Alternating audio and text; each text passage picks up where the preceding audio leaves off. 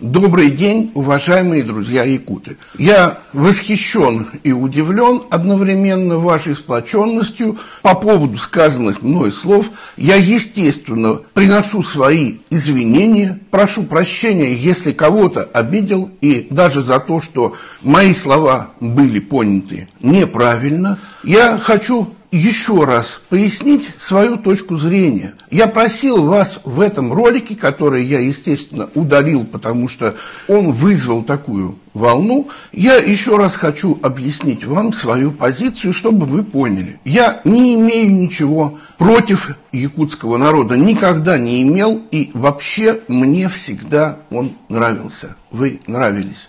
В своих исследованиях я всегда опирался на якутский эпос как один из образцовых эпосов, который существует уже издревле.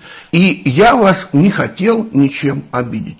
Я приношу вам свои извинения еще раз и объясняю. Когда я называл вас китайской нацией, я имел в виду происхождение от хунну, научное происхождение, которые по научным же данным идут из Китая. И смысл этого названия, он сводится всего лишь к тому же, как, например, русский народ назвать славянами. Здесь нет никаких с моей стороны нехороших высказываний по отношению к вам, как вы видите. Второе. Когда я говорил о крысах, я не имел в виду народ якутов, потому что я знаю, что якуты действительно геройский народ, и все мы знаем о вашем участии в Великой Отечественной войне, геройском участии. Все это я знаю. Я говорил в своем видео только об одних, тех, которые покинули Россию и переместились в Казахстан, вот их я и называл крысами. Я об этом четко сказал в своем видео. Поэтому, если я что-то неправильно сказал, прошу меня простить, не обижаться сильно. Я увидел вашу сплоченность, я ею восхищен, я ею удивлен, но я не имел по отношению к вам никаких негативных взглядов и не имею. Прошу меня простить и давайте на этом помиримся, как нормальные взрослые люди.